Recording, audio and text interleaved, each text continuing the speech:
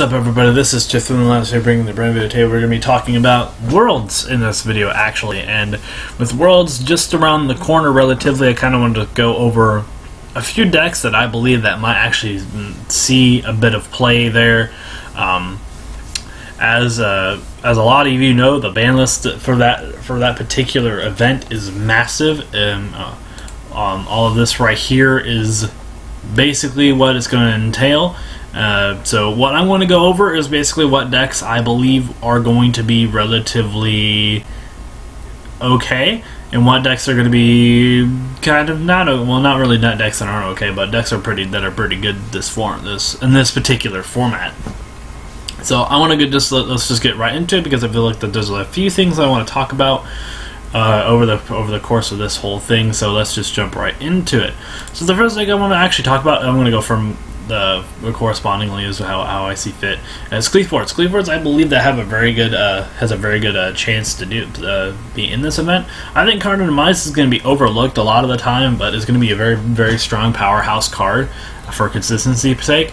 Um, so in general, I think that uh, decks that can benefit off a card, a card such as Qliphort Scout and Yosenju's, will probably see a bit of play. They might not take the entire event, but I feel like that, that these will be a, little bit of a sleeper deck. Qliphorts probably have a better chance than the Yosenju's in my opinion, but regardless of that, I still believe that some cardinalized deck will make it into the, the, the forefront of how this is going to be. Um, also, I think Performapals, despite Monkeyboard being banned, and a lot of other good uh, Performapal cards such as um, uh, Damage Juggler and the Plush Bar being banned as well. Um, I think this, I think Performapals, regardless of that, still have a decent chance of being okay, especially since they can also manipulate the uh, the Majespecter engine by running Bunbuku and um, um, Unicorn and uh, uh, Kyubi, and they can also run their own Frenity Bearer thanks to the thanks to that card, um, thanks to the the Majespecter engine as well. Um, so I think in general that uh, with the incorporation of Majespecters, um, you'll see a Majespecter Perform Pal deck kind of make its way into the forefront, I guess, at some point. It probably won't win the event, unfortunately, because I don't think it's going to be strong enough to compete with the other decks that are probably going to be a part of there. So, you know, we'll see how it unfolds, but I think that at least one Performapal deck will make its way in there, despite all the hits to it. So Tellarknights, this is one of an this is kind of a controversial choice simply because um, people don't want this deck to top uh, or to win the event again twice in a row. Um, but since the Tellarknights basically have no hits to their name, um, I think this is it's a very very good, very strong format for them, especially since they also can play cards that target now, since Cosmos are basically out of the running, and Kaiju's to an, to an extent, but Kaiju's really didn't make that big of a difference anyway. But particularly Cosmos, um, kind of see this see this deck kind of bit more in the limelight a little bit more, uh, simply because well they could play Fiendish Chain, they could play uh, other their abusable uh, uh, spell and trap cards that negate effects and stuff like that. They can play Breakthrough Skill if they want to, so.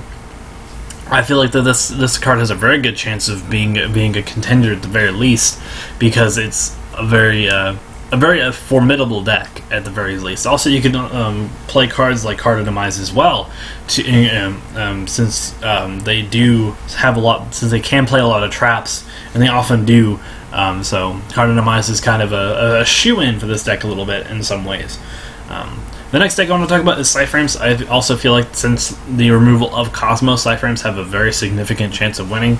Um, regardless of how the format stands, I think PSY-Frames will probably want to be one of the best sleeper decks in the format. Um, they will probably periodically go in and out, in and out, constantly of being good or not. Um, but PSY-Frames in the Worlds format, where nothing of their deck is hit, they hit, uh, everything is perfectly fine. Everything is at three. Um, this card, this deck, especially with PSY-Framelord Omega being a powerful card, we'll see some shine, I think, might in, in, the near future. Plus, it's also one of those decks that people don't really expect to see in these kinds of events. Much in the same respect as um, or Qliphorts, they might not be completely good or competitively viable at the moment, but in the format of Worlds of how it's structured, I think PSY-Frames have a very, very good chance. And the last two decks, I think, have very good chance, chances of, of being in this event, despite um, all the negative hits that the deck has received so far. So the first deck I want to talk about is Burning Abyss. Uh, Burning Abyss has a very good chance, despite Dante being one in this format. They don't really need Dante to, to, to accumulate so much advantage. Um, they can use uh, the Phantom Knight uh, engine, which it undoubtedly is considered, is, some people consider it as the worst version of that deck, or a bit less consistent version of that deck.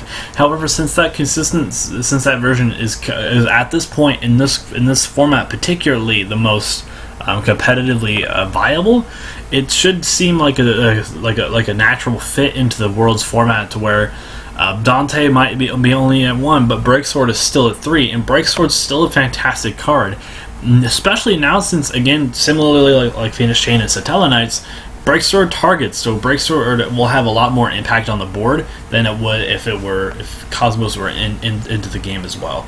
Um, all in all, I think that Burning Abyss has has a very good chance of winning simply because of, of PK Fire as a whole.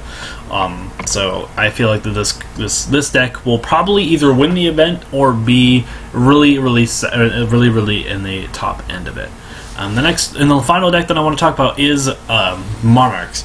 Despite um, Domain and despite Pantheism and despite other other cards for the deck going to one, um, Monarchs have a very very high chance of getting this event simply because of two things. One, the Super Quantal uh, version of the deck still exists.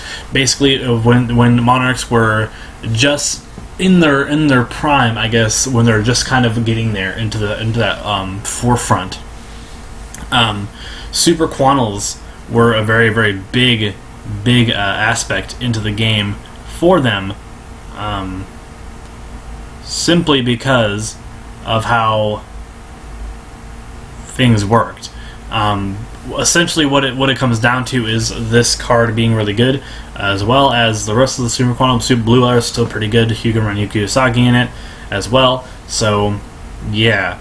Um, also they have the brilliant fusion version they have brilliant. They have, they have brilliant monarchs, which is still a fantastic build. They only really need one of each copy. Sure, pantheism is the consistency of the deck. However, I feel like that they can kind of mitigate the consistency of that deck just a little bit by playing that by playing this variant in particular. I could be very wrong, of course, but I feel like that in general, monarchs have a very good standing in the format, um, despite their inconsistencies. Plus, they could just cycle in um, allure darknesses for. Um, for pantheisms anyway. Sure, it's not as searchable and is not as viable, but they still have also killer cards like Stormforth. They also have uh, March of the Monarchs, which is pretty good. Majesty Fiend is still a fantastic card. Fanta- um, Majesty Fiend basically will uh, is one of the cards that I that is a really really good card. It will put the put the match to sleep, and basically you just poke and win for the for, for, for game there.